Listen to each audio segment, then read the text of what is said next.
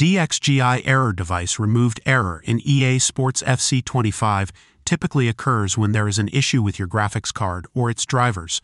This error indicates that the connection between the graphics card and the system was lost or the device was forcibly removed during gameplay, causing the game to crash. Here are some solutions for this error.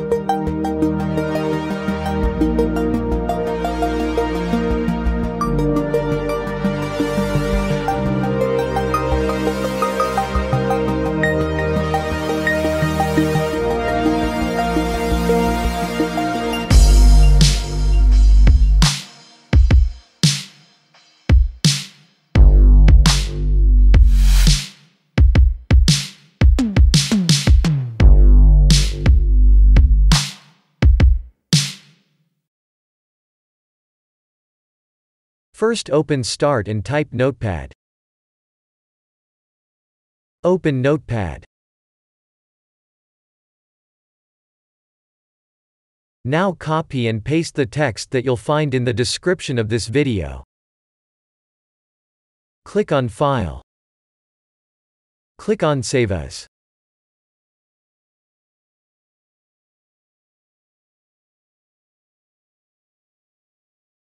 In Save as type, select all files. In file name type, fix.reg. Press Save. Close your notepad. Double-click your reg file. Press Yes.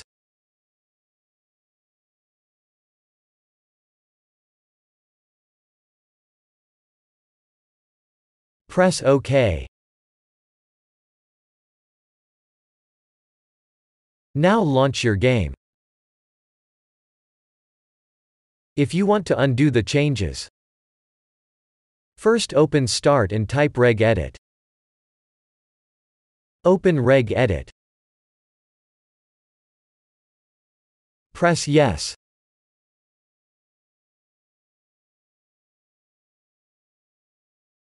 Expand H key local machine. Expand system. Expand current control set. Expand control. Select Graphics Drivers.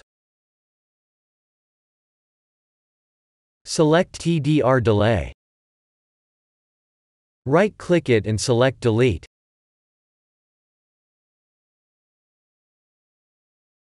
Press Yes. Restart to apply the changes.